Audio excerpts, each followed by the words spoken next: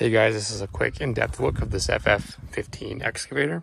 I'll start off with the operating station, the seat, adjustable fore and aft. We got pilot control, adjustable armrest. Here's the safety to engage or lock out the controls. Here you have your main battery disconnect. This side you have your choke, throttle, ignition key, hour meter, light switch for your LED light. Then here we got a lock compartment to get access to hydraulic tank. You also have a sight glass right here.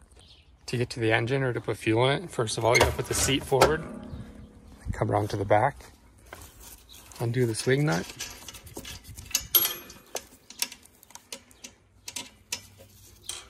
And the seat flips forward. You have access to your fuel tank. To get to the engine, you open up this back compartment here. It's a 13 and a half horsepower Briggs & Stratton engine, electric start. Check your oil there, drain your oil. Air filter, muffler, muffler extension that sticks out past the back. I took off the floor pan to show you the hydraulics.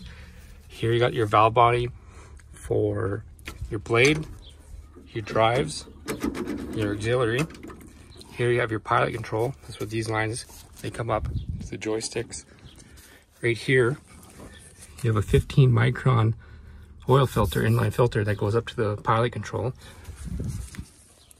Here you have your swing motor. In the front, you have your backfill blade. There's these flat uh, grease nipples that don't break off. Your tracks are seven inches wide, manually adjusted in here two bogie wheels. Now you got your main boom here, greasable pins. Stick cylinder, your stick, mechanical thumb, 17 inch digging bucket, all greasable pins.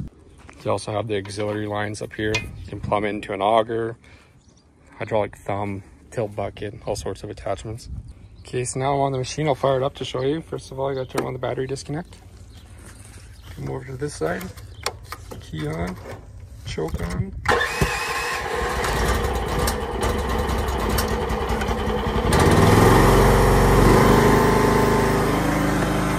Okay, so the gauge, the functions are locked out.